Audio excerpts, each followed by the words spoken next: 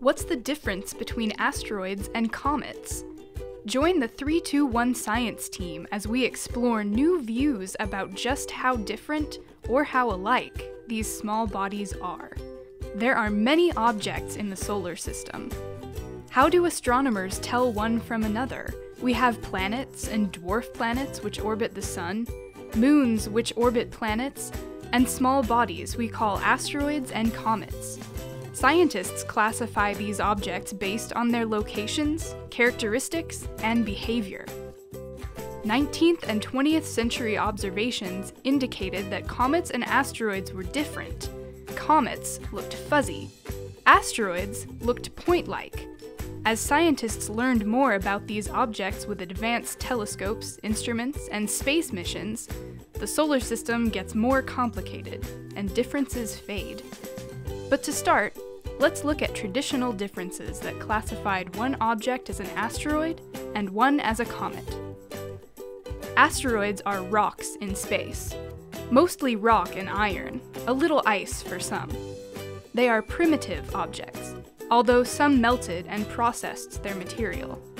Comets were called dirty snowballs, mostly ice, but up to an equal amount of rock, or dust, they remained frozen and pristine in the deep freeze of the outer solar system. The fundamental difference between asteroids and comets is where they've spent most of the last 4.5 billion years in the solar system. Most asteroids reside in the asteroid belt, between Mars and Jupiter, with some in smaller orbits nearer Earth. Scientists designate two reservoirs for comets.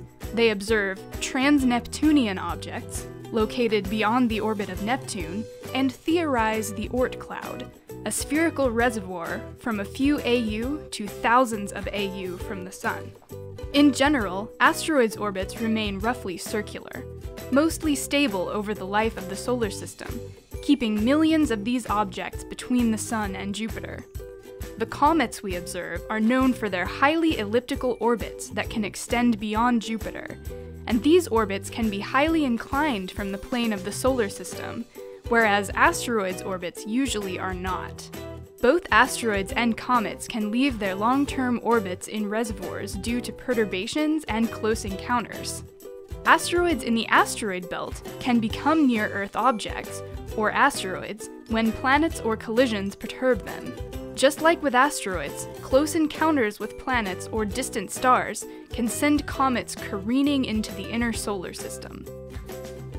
Comets become active bodies that develop a coma and tails as they approach close enough to the Sun to sublimate water and other volatile compounds on their surface.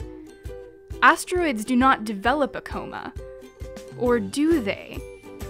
In 2013, the Hubble Space Telescope observed an asteroid exhibiting comet-like behavior, ejecting dust and perhaps ice from its surface.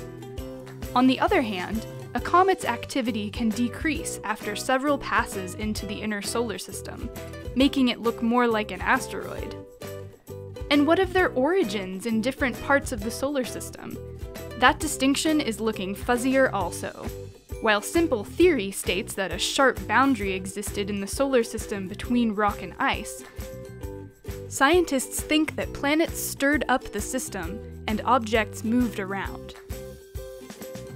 The Stardust mission to comet Wild 2 provided samples that supported the theories formulated from the simulations and meteorite studies. It's more an asteroid-comet continuum than distinct classes of objects, Upcoming missions are set to explore the details of the members of the continuum. After a journey that included visits to asteroids and a long hibernation to conserve fuel, the Rosetta spacecraft arrived at Comet 67P Churyumov-Gerasimenko in August 2014 to begin its detailed study. In 2018, OSIRIS-REx will reach the carbonaceous asteroid Bennu, which it will map characterize, and sample. For more information about asteroids, comets, and OSIRIS-REx, click on the links.